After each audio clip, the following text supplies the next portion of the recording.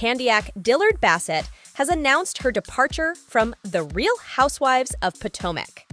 People reports that the reality star has made the decision not to return for the show's ninth season, choosing to leave the franchise on her own terms.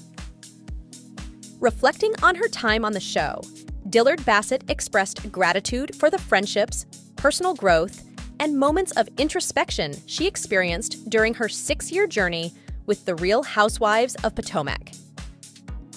She shared with the outlet As I embark on a new chapter after six remarkable years with the Real Housewives of Potomac, I am filled with gratitude for the enriching friendships, personal growth, and moments of introspection that have defined this journey.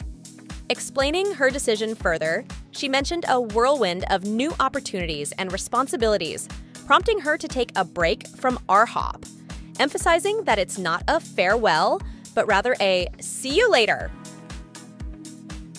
Joining the Bravo series in season 3 back in 2018, Dillard Bassett's presence has been notable, particularly during the latest season, where tensions rose with former friends and original cast members Robyn Dixon and Gizelle Bryant.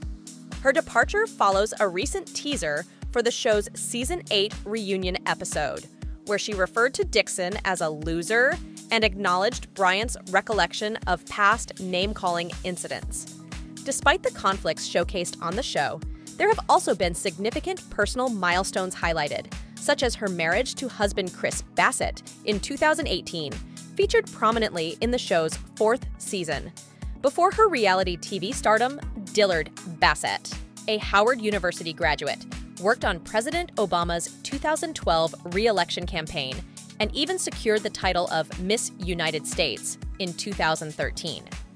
Additionally, she has ventured into acting and music, releasing her debut album, Deep Space, in 2021.